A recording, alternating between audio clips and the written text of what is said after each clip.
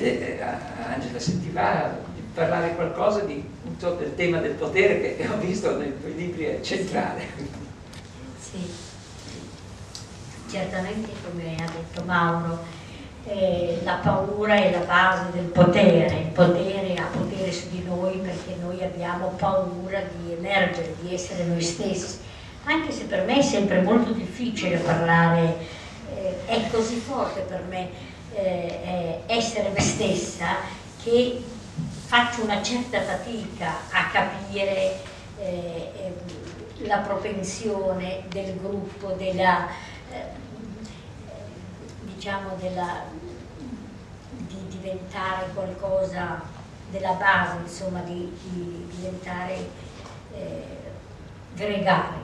Faccio fatica perché è così forte la, il fatto identificativo che faccio fatica. Comunque vedo la realtà, la realtà è questa, che la gente ha bisogno di essere guidata.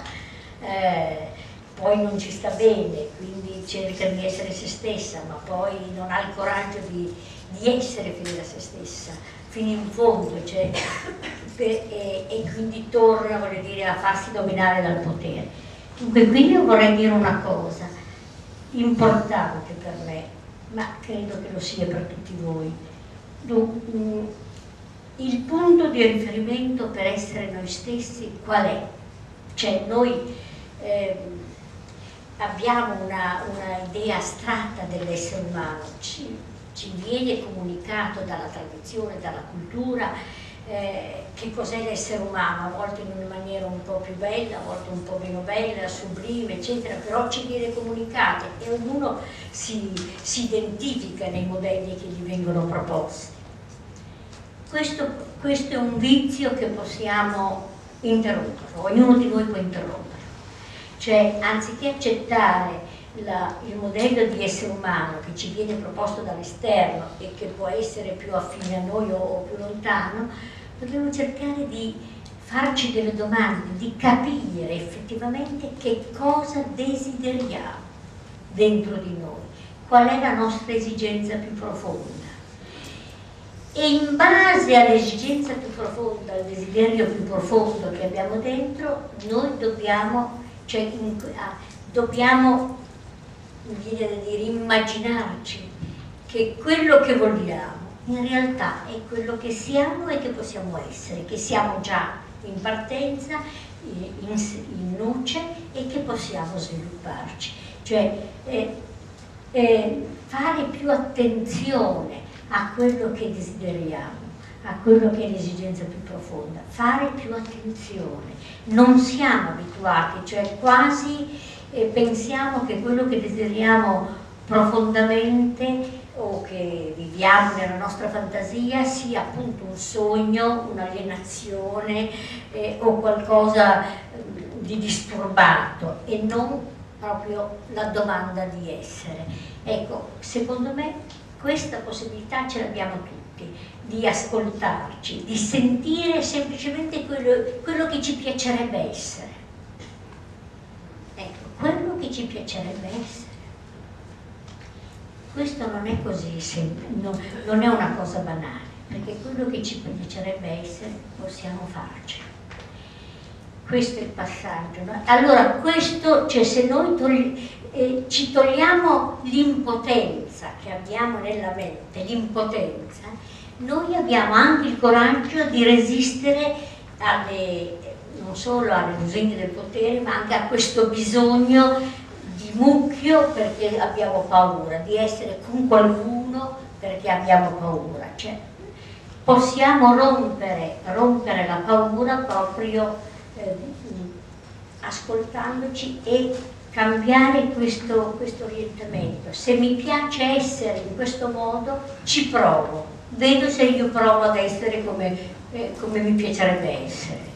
Cioè è una sfida con noi, che bisogna, cioè, cioè, io non ho, eh, non ho fatto questa, questo tragitto, però cioè, penso che anche questo sia, sia utile, sia importante, perché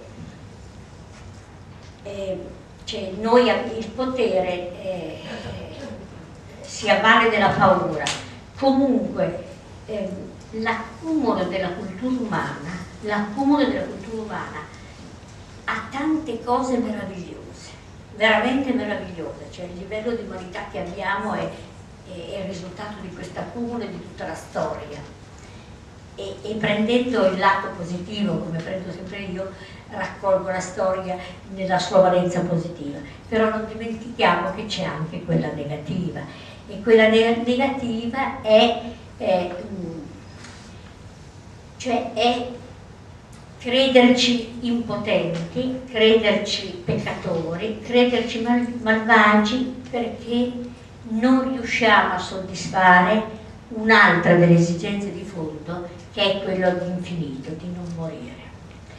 Il, la paura della morte ci fa accettare tutte le altre paure.